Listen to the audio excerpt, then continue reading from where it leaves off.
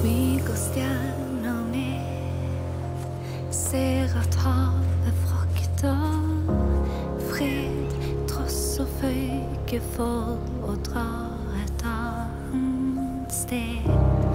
Hører til her, puster de som fanger dråper ut